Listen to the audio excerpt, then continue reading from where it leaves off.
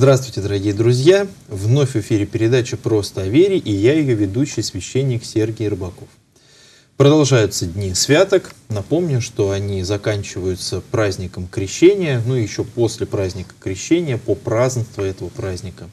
Поэтому такой длительный цикл э, ликования от Бога воплощения, Бога явления в мир, мир людей.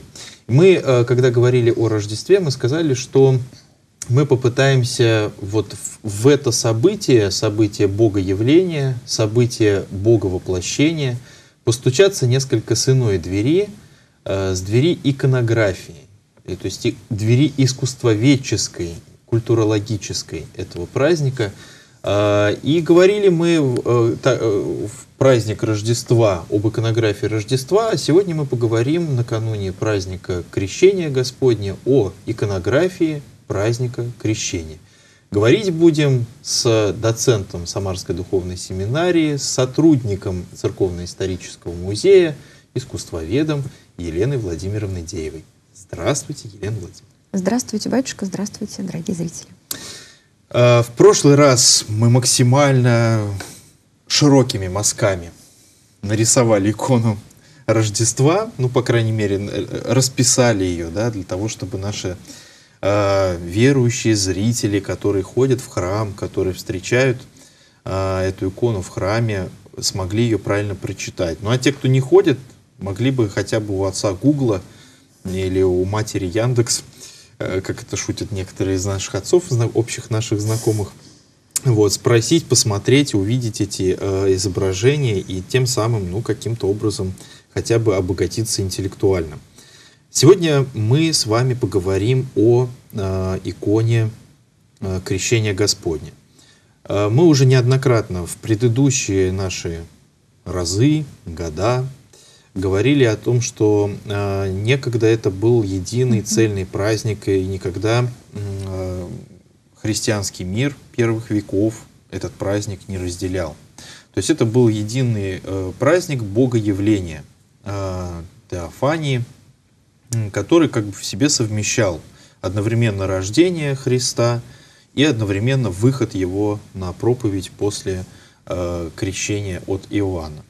Но для того, чтобы бороться с тогда возникавшими ересями, а главным образом идея того, что Христос родился всего лишь человеком, э, и 30 лет он жил всего лишь как человек, и не больше того, это был обычный э, отрок, угу. сын и так далее. А вот придя на Иордан, э, он получает как бы некую, некие благодатные свойства, на него сходит Дух Святый и таким образом в нем поселяется, как в храме. А, вот. И для того, чтобы победить эту, это заблуждение, праздники распараллелились, э, праздники растождествились, э, для того, чтобы еще и еще раз показать, что Бог Э, что Христос родился Богом, 30 лет жил Бога человеком, и Бога человеком выходит на свою проповедь, придя на Иордан. Ну, это вот небольшая такая преамбула. А, собственно говоря, о том, какие таинственные знаки есть в иконографии, как их не проглядеть, а прочитать, какие смыслы они для нас раскрывают – мне бы хотелось услышать от вас.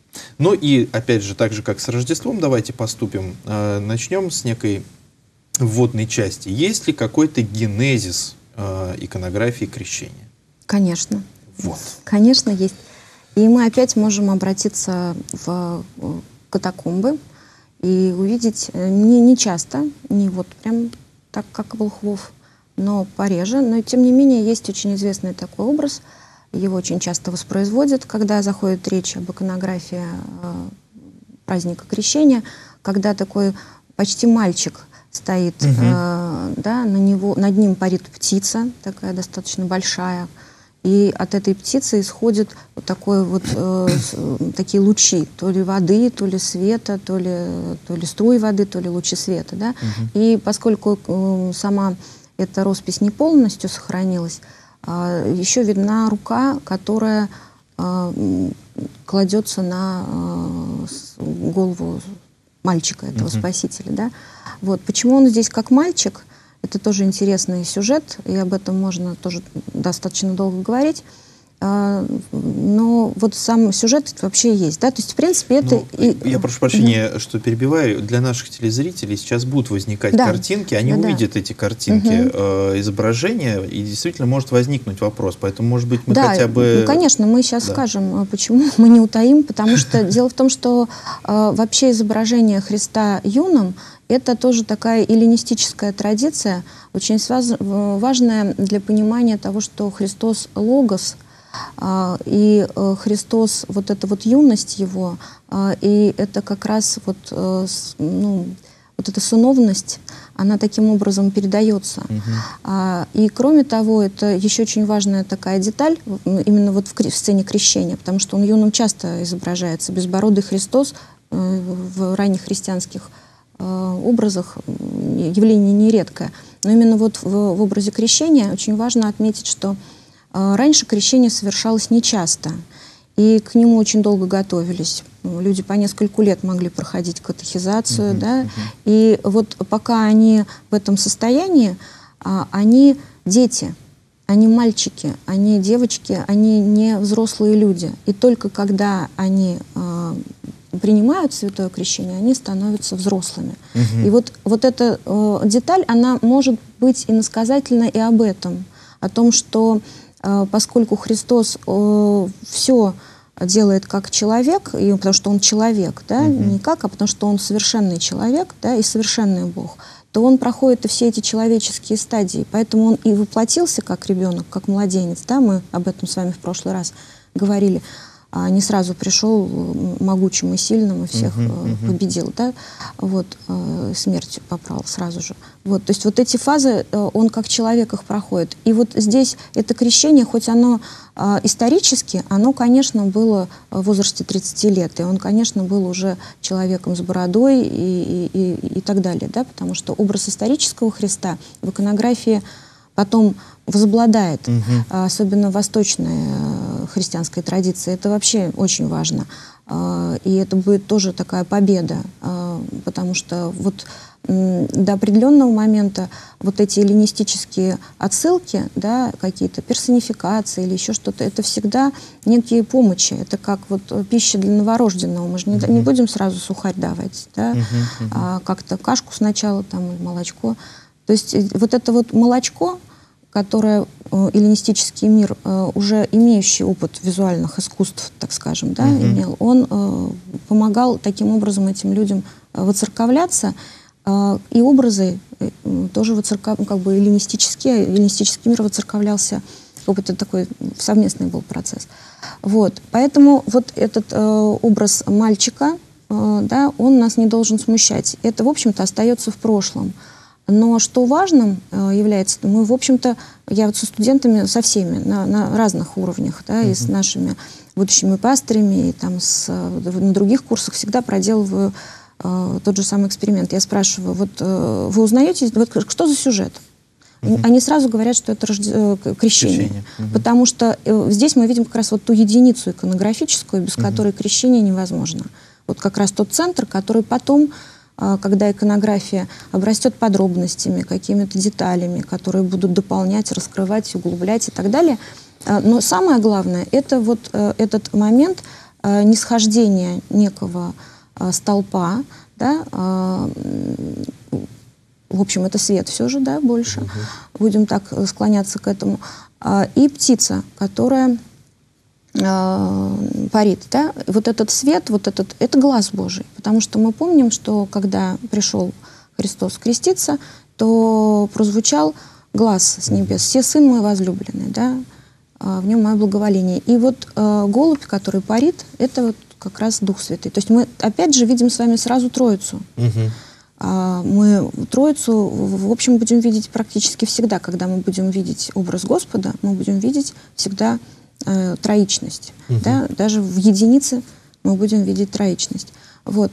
Ну, а если говорить об этих вот замечательных подробностях, которые, конечно, самое главное э, и важное, это э, Иоанн Притечи. Да? И это тоже тот человек, без которого невозможно э, говорить о крещении, потому что а, они таким образом исполняют всякую правду, да, то есть угу. они делают то, что должно состояться.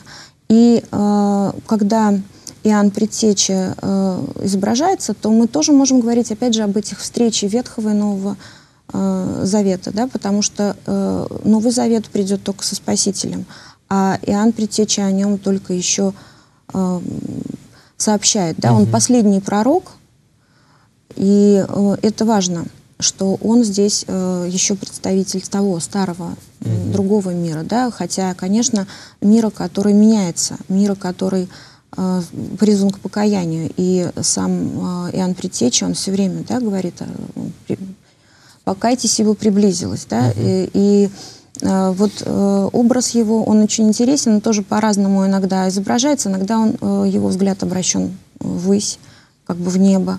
Иногда его взгляд сосредоточен на самом Христе, да, и здесь тоже могут оттенки смыслов таким mm-hmm. образом раскрываться. Вот. А, ну и одна очень интересная деталь, она не всегда бывает, но очень часто, если это достаточно полная иконография, мы видим некое древо угу. у потока, опять же, да, и тут отсылы могут быть угу. и к, к псалтере, а, но и можем увидеть, э, что у этого древа при корнях лежит секира. Это вот э, некий атрибут, который связан с Иоанном Предтечи. Да? Но мы не знаем точно, что секира не ходил. Да? Почему вообще секира? Это э, вот э, тот иносказательный смысл, который э, отсылает, опять же, к его проповеди. проповеди. Да? И э, здесь мы можем обратиться к евангельскому тексту и увидеть вот э, как раз вот, э, про прочесть эту проповедь, да? где будет сообщено, что э, древо, которое не приносит плода, нужно срубить да, и бросается, да. Вот, то есть э, вот такая деталь, которая, может быть, не всегда бросается в глаза. И неправильно прочитывается. Я потому что в свое время тоже, когда мы беседовали со студентами, я задавал вопрос, что то есть студенты, будущие пастыри, то есть, по идее, как бы люди уже ну, Евангелие как минимум не раз читавшие. Ну, во всяком случае, верить хочется. Очень хочется. Вот, и они отвечали, что ну он же там обращался к воинам, это, видимо, их э, элементы, вот они там типа того, что... Шли и бросили. Да, все, бросили и пошли. Да, и очень интересное прочтение. Там же еще и цепи, по-моему, кое-где встречаются, разорванные цепи. Э, образ, опять же, который нас перебрасывает да, в, уже в воскресенье. воскресенье, вот, что э, некие узы разбиты, рассечены узы со смертью, узы ада, которыми связано было человечество.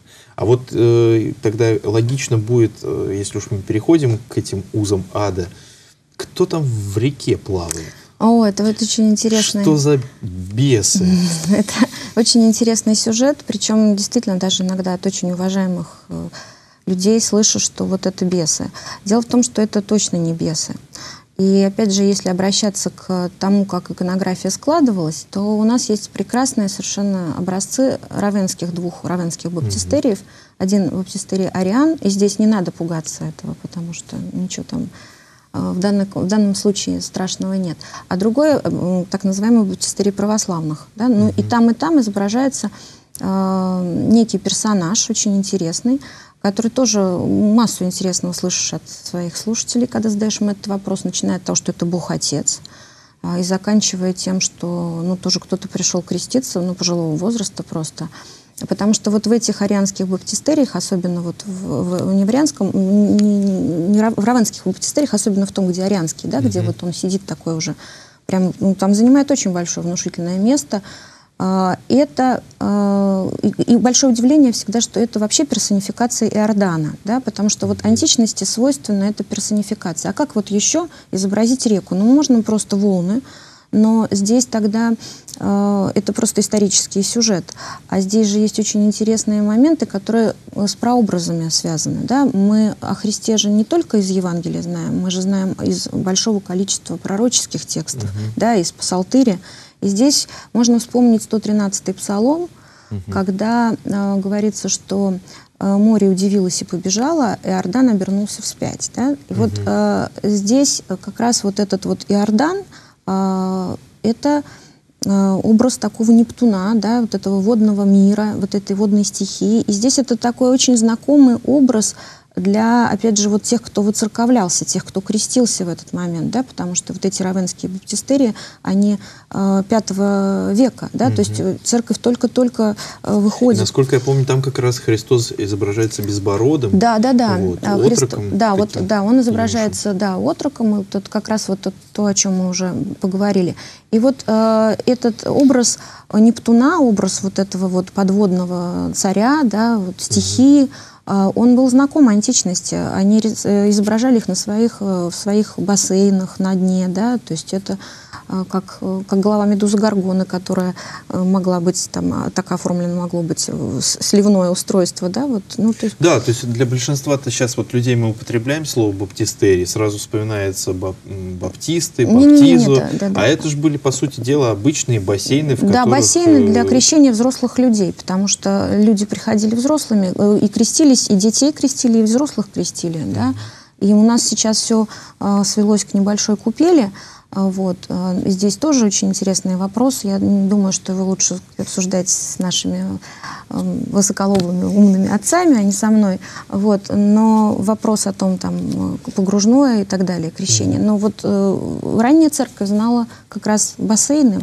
в баптистерии, где нужно было... Причем изначально, если мы вот до того, опять же, перенесемся, э, до того, как христианство стало религией разрешенной, то есть перестала быть гонимой, эти бассейны вполне находились в обычных домах, э, вот, там, не знаю, богатых э, римских граждан. И не вот. только богатых, я могу сказать. Маленькие бассейны. Вообще Рим, он очень связан с водой. И то, что у них система акведуков и прочее, то, что они первое, что они делали, когда приходили, строили дороги и водопровод. Везде да, это не только связано с достатком, это связано с культурой определенной, которая в античном мире была. И эллинистический мир, э, наследуя эту античную, э, римскую именно античность, угу. распространяя ее, да, и греческая, греческая философия и комфорт Рима, да, это как раз эллинистический мир. Поэтому, в общем-то, эти бассейны, вообще средства для умывания, они были вполне. То есть мы видим опять просто, я, я для наших телезрителей хочу э, расцветить э, немножко этот мир, что как удивительным образом, э, не круша, не разрушая, не с какими-то молотами, хотя, ну, не будем брать радикальные истории, когда крушились статуи античные там, и так далее. Но в целом христианство входит, перерабатывая, переосмысляя э, и демифологизируя тот мир, в который она приходит.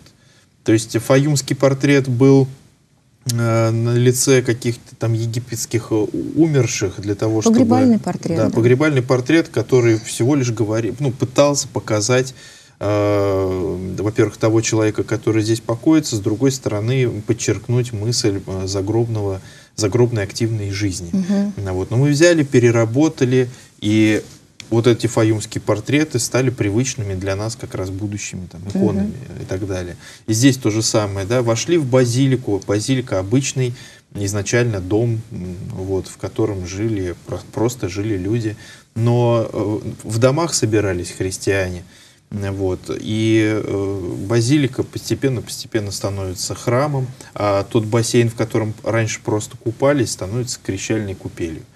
Вот. Ну, вообще вот эта идея очень, мне кажется, важная, что когда христианство, оно приходит, оно пытается взять все самое лучшее угу. и ценное. И здесь, как не вспомнить Юстина философа, который говорил, что христианин, христианину принадлежит все самое лучшее, что создано человечеством. Да? Mm-hmm. То есть вот, ну, перефразируя дословно, не помню цитату, мне очень эта мысль нравится как раз. А, о том, что а, вот наполнив, а, только наполнив эти языческие смыслы новым христианским содержанием, мы mm-hmm. получаем христианское искусство. Потому что если бы просто это э, очень слепой перенос, то мы э, не получили бы вот того э, богословия красках, о котором mm-hmm. мы с вами уже говорили. Да? То есть вот этот мотив переосмысления, перерабатывания – от, а, отбрасывания ненужного. И вот, вот это отбрасывание ненужного, оно потом же будет. Потому что мы до сих пор не изображаем Иордана, сидящим практически вровень со Христом. Да? Он где уже в этот момент? Угу. Вот в нашей современной иконе. да, уже после XI века и даже вот, ну, после IX, 9-11 век – это время, когда иконографический канон складывается. Мы видим, что у него совершенно конкретное место, он в ногах.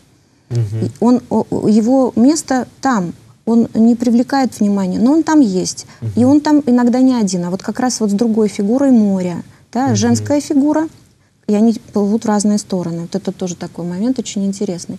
Иногда бывает, что два, две мужские фигуры, и тогда а, вспоминается э, другая трактовка иконографическая, что это как э, два потока, когда Христос входит, разделяется Иордан на два своих потока, да, и вот они там тоже есть. И здесь вот это, э, опять же, нас прооб... к каким прообразом относит? К тому, как море разделилось, да, вот что, что нам прообразно говорит о крещении ветхозаветной. Угу сюжеты какие? Как раз вот прохождение, прохождение евреев. евреев через, да, через море Красное и бегство от фараона. То есть вот, вот эти прообразы мы их здесь тоже можем видеть, да, и вот эти персонификации этого моря, этой, э, это не просто милая деталь и дань э, традиции, а это еще и смысл богословский. Да? И расстановка определенная, да, да? да? то есть э, картины мира. Да, Такая совершенно. космогония. Да, и поэтому здесь э, они, э, это, так скажем, воцерковленные стихии. Стихии тоже радуются и воцерковляются. Вот они воцерковленные стихии, которые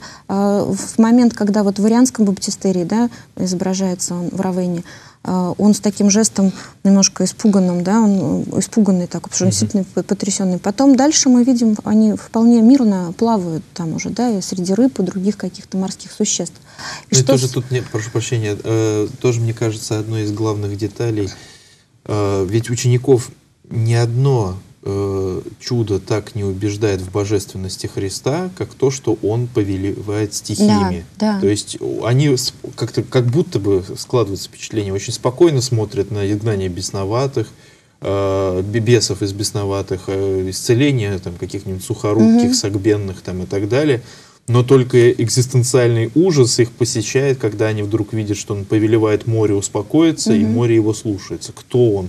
Что и стихии его, ему подчиняются. Это точно не просто пророк. Угу. Угу. Да. Ну и очень важная деталь, она тоже в иконографии достаточно рано возникает, но, в общем, в канон входит. Это крест, который изображается в, как бы в ногах у Христа. И здесь мы тоже можем сказать, что э, мы сразу видим и крестную смерть Христа, угу. да, то есть вот то, то, к чему он призван, выйти на проповедь, да, и то, к чему, чем закончится его земное человеческое. Вот в этом удивительная, да, какая-то штука того, как э, богословы, иконописцы-богословы, они умудря, умудрились вот по, через маленькие какие-то вкрапления и детальки показать, э, что жизнь э, Бога-человека Христа — это такой Гераклитов поток. Вот. Ну, та самая река, в которую угу. как будто бы, не как будто бы, вернее, нельзя войти дважды. Угу. Вот. И это подчер... подчеркивается нам из э, праздника в праздник, что, например, нельзя из жизни Христа, вот некоторые христиане живут по этому принципу, тебе крест, а нам воскресенье. Угу. Господи, да, ты там распинайся, а вот нам бы Пасха, яички и так далее. Вот. И вот это вот желание из этого Гераклитового потока взять и вычленить что-то для себя, из Рождества взять только вот елку, мандарины, детский Изюм праздник. из булки. Да, да, да, да, да, да, да. А раз и церковь говорит, а нет, вот, а вот нельзя это просто как одно только радостное событие рассматривать. Крест присутствует вот во, во всех, потому что он, собственно, ради этого и приходит. Удивительная история. Ну, впрочем, я вас э, да. перебил.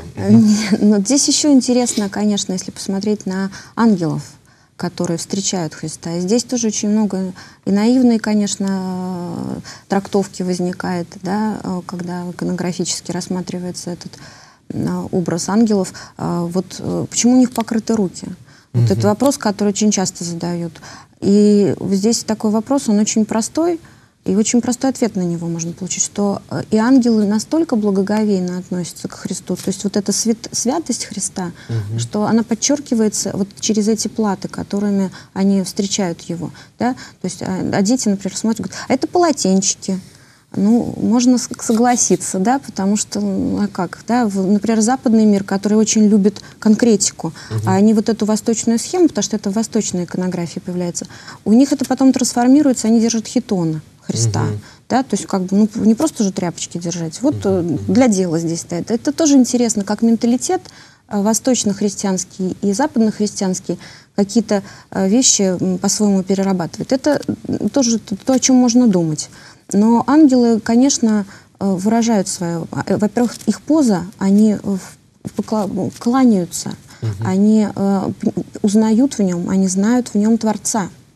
И они знают, что они его творение, поэтому это благоговение совершенно безграничное. Да? Поэтому вообще все святое через полотенце. Мы помним через плат. Да? Мы угу. можем вспомнить, как э, и всегда тоже это мне нравится, потом же праздник Сретения будет, угу. и э, Семен Богоприимец, у него руки покрыты должны угу. быть. Если они не покрыты, это уже на самом деле некое вольнодумство авторов, которое угу. потом после 17 века возникнет. Да? А вот ранняя икона, она всегда знает покрытые руки в, в иконе Сретения. Или э, когда... Воскресенье, воск... когда да, Христос Да, берет. да, да. Успение, например, когда а, ангелы стремятся э, принять душу Божией Матери э, из рук Спасителя, да, она в виде спелентой девочки, а у них руки тоже покрыты. То есть вот эти детали с ангелами, с покрытыми руками, это тоже, в общем-то, такое указание на, то, на благоговейное это отношение, да, потому mm-hmm. что иногда мы в нашем беге, да, даже вполне благочестивым, предпраздничном, можем э, вот это вот внутреннее чувство благоговения, которое нам нужно испытывать, перестать испытывать. И здесь нам, нас возвращает икона, она действительно вот, и как Библия для неграмотных, да, mm а ты остановись, а почему здесь вот так, да, и задумайся об этом. Может быть, что-то тогда важное будет открыто.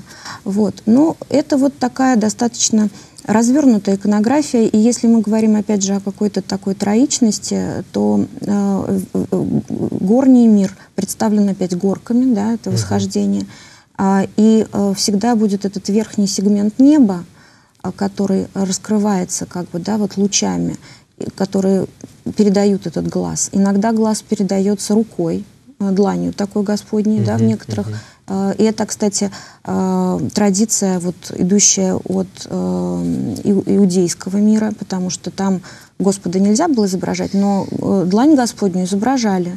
Вот. И вот здесь еще парящий, конечно, голубь, да, то есть Дух Святый, который не сходит на Спасителей. То есть вот это такая вертикаль, э, троицы, да, которая вот показывает нам, как нам вообще нужно самим выпрямиться, да, угу. и, и быть, э, ну, соответствовать этому. Интересные бывают э, моменты, когда мы видим где-то Христос как будто бы шаг делает э, к Иоанну угу. Предтече, да, где-то он стоит э, совершенно ровно, да, где-то у него прикрыты чресла, где-то они не прикрыты, да, и это это уже такие, так скажем, вариации в каноне. И здесь всегда очень интересно, как э, вообще канон э, подвижен, как он э, откликается на какие-то, да, вот где-то важно подчеркнуть вот это движение Христа к Иоанну Предтечи и его угу. э, принятие этого крещения. А где-то важно уже показать вот эту как раз э, такое стояние Христа, да, вертикаль эту. Ох, Елена Владимировна, можно бесконечно слушать, очень интересно, но, к сожалению, время нашей передачи подходит к концу. А, и, как всегда, небольшое мое резюме э, в конце э, нашей сегодняшней передачи. Мне кажется, что праздник э, крещения, который мы грядем праздновать, праздник Богоявления, Теофании, и вы сегодня об этом в том числе сказали при разговоре об ангелах и про вот эти платы чудесные – это праздник узнавания, то есть праздник того, как не проглядеть. Э, потому что даже в Евангелии обычно на эту ремарку редко кто обращает внимание, что кто-то слышал всего лишь гром. Вот, когда э, происходил, э, слышался глаз от Бога Отца. Только часть, в частности Иоанн, Креститель, слышит в этом конкретные слова, способен в них, в этом громе что-то расслышать, остальные слышат гром. Вот эта вот идея того, как не проглядеть, как узнать, мне кажется, является главной фундаментальной идеей сегодняшнего праздника. С праздником вас! И вас, дорогие наши братья и сестры, зрители наши, поздравляем с праздником Богоявления. Желаем острого глаза не проглядеть Христа, который ходит гораздо ближе, чем нам кажется. Храни всех вас Господь.